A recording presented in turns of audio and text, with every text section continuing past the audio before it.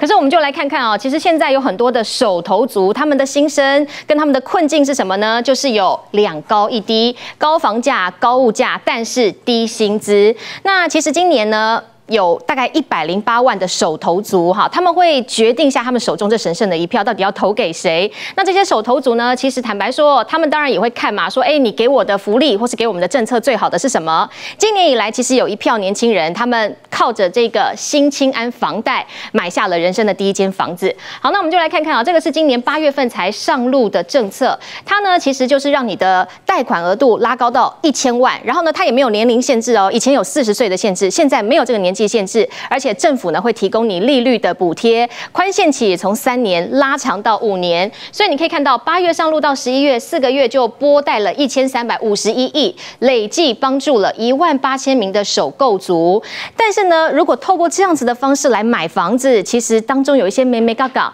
因为三年五年宽限期过了之后，那接下来呢这部分我们来请教世聪哥。对，没错，刚才这个结语提到说说得年轻者得天下，于是呢各个阵营都提出所谓的。让青年人买得起房的这个方案，包括说像绿营的就提出所谓的新青安的这个房贷，那蓝营呢就有侯康贷，那当然科有他所谓三多利政策等等。好，那我们今天就来讲这个新青安房贷这个部分，因为目前为止来说，这个已经是在做的一个状况。那如果我们以这个新青安这个推出到目前为止的这个状况来说的话，四个月已经拨款了大概一千三百亿左右的这个数字。你看，尤其到十一月的时候，已经单月就来到了四四百六十五亿。那目前为止来说，预估。来说，今年底应该有机会达到一千八百亿左右的这个状况。好，那我们就讲新青安到底是什么样一个状况呢？我们现在讲这个申请的资格是，你借款人呢，你要年满十八岁，然后你的本人跟配偶，还有这个。未成年子女都没有自用住宅，所以也就是说呢，这个新青安来说的话，这个如果你有转贷啦，或者说什么旧青安这些都不适用。好，那我们就讲这里面到底有什么样的优惠呢？第一个，现在的方案是你只能够贷八百万，然后这个公银行库是给你减减码半码的这个优惠措施，然后贷款前限是三十年，然后宽限期是三年左右一个数字。但是未来呢，你可以看到说，二零二三年的这个八月，也就今年八月起，它整个贷款的额度最高可以贷到一千万，然后呢，它在加码到一点五码，我们过去是公营行库减半码嘛，那未来是公营行库减半码之后，政府再补贴一码，所以也就是说可以减到一点五码左右。然后贷款年限从三十年拉到四十年，宽限期是五年的一个状况。那实施的这个期限是到二零二六年的七月三十一号。好，那我们来讲，以目前的这个道理有什么样的一个影响呢？第一个，新青安推出之后，今年的买房的主力变成是年轻人。那么过去一段时间呢，其实。买房的主力大概都是四十岁上下，那因为新青安推出之后，哎，年轻人当然是大举的这个进场，所以你看从这个贷款金额的这个增加就知道说，年轻人变成是今年买房的一个主力。再也就是说，你要我们要提醒大家，如果你用新青安的这个状况来说啊，你可能整体缴的利息会比较高。为什么整体缴利息会比较高？我们对比这个之前跟之后的一个一个状况，你看下这个所谓的新青安的这个一段利息或者两段利息，这个这个情形来说，你看下利息差是差蛮多的。以一段式的利息来讲的话，你看新青安是可以一千万的贷款是要缴三百四十五万左右的利息，民营银行是要缴三百四十一万，所以就变成是说，你看。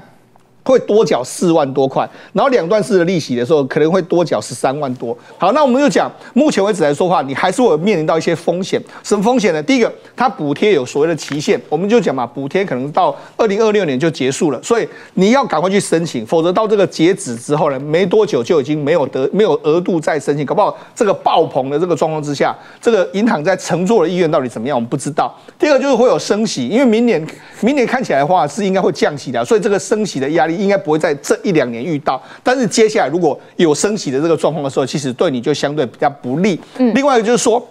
因为这个宽限期呢，我们讲新青安的宽限期是五年左右这个时间，所以这五年时间一过之后，其实你还是要你这个缴正常的息。那我们我们就讲，因为你这个新青安的房贷的这个整个息是比较高的，所以你可能负担呢会相对比较高。不过呢，因为它是总额帮你提高嘛，以前可能你可以只能够贷八百万，那现在可以提高到一千万，所以对一些首购族来说话，我觉得还是会有一些比较好的这个情形。什么叫比较好的情形呢？我们看最近的时候，所谓的三五仔就卖的比较。好什么叫三五载就没有车位、没有电梯，还有没有社区管理？为什么呢？因为我们知道，其实如果你贷一千万，